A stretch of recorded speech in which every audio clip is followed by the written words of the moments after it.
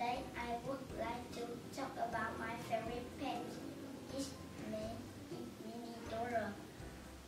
It has yellow fur and it has four legs. My cat likes milk and meat. Mm. My, my cat and I often play together. It is